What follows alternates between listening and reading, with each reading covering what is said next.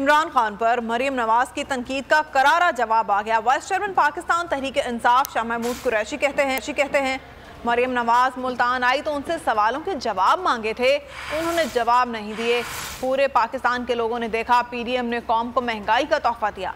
शाह महमूद कुरैशी का कहना था, मरियम बीबी से पूछता हूँ, वोट को इज़्ज़त दो की बात आमिर डोगर ने याद की या शाह महमूद कुरैशी ने या फिर आपके शोहर ने?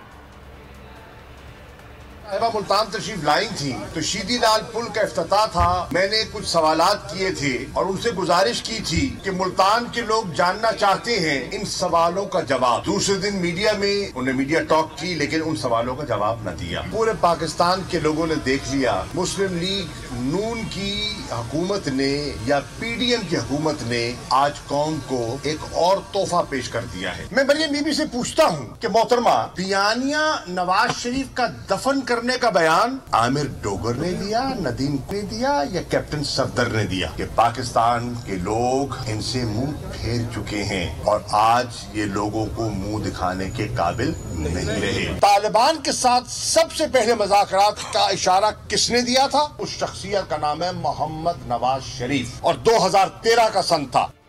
मरियम नवाज़ कुछ और और उनके शोहर कुछ और बात कर रहे हैं। इमरान खान सड़कों पर आए तो उन्हें पता लग जाएगा।